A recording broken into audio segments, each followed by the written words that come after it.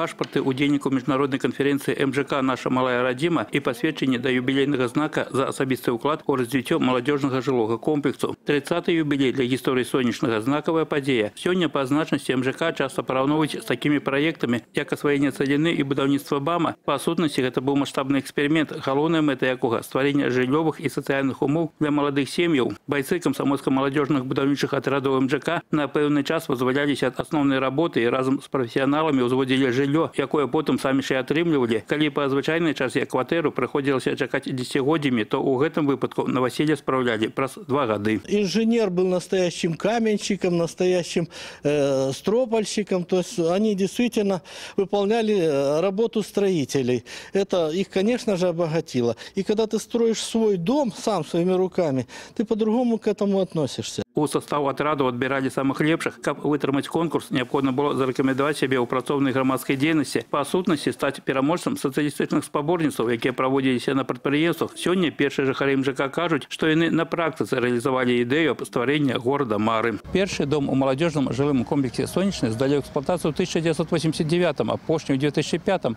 Сёння сонечны гэта 641 кватэра. І такі факт да будаўніцтва комплекса імкнуліся падыходзіць па-гаспадарску і максімальна захаваць лясны лясны масіў, які знаходзіўся тут раней. Сярод сучасных жыхароў маладзёжнага жылога комплексу дзеці і ўнукі тых, хто стаяў ля вытокаў МЖК. Гэта сапраўды камфортнае месца для жыцця з усёй неабходнай інфраструктурай, школай, дзіцячым садам, магазинамі і нават падземнай аўтастаянкай. Очень комфортно. Все под рукой. Магазины, остановка, э, школа, садик. То есть, ну, все удобно очень. Транспорт тоже весь любой, все под рукой. Поликлиника. Ну, то есть, как бы наш микрорайон очень.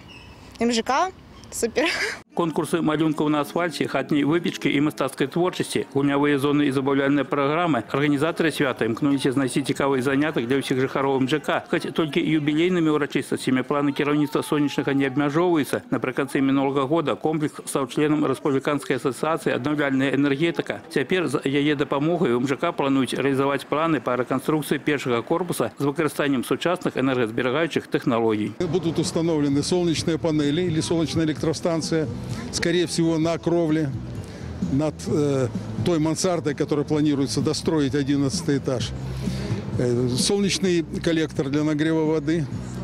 Э, Мы рассуждаем сейчас вместе, ищем варианты, ис- исследуем вместе с Академией наук, как под стадион положить тепловой насос, который бы э, тепло земли ниже замерзающего слоя принимал и обращал его в тепло круглогодичное, чтобы поле было подогрето постоянно. Олег Сентеров, Ігор Марищенко, телерадіокомпанія «Гомель».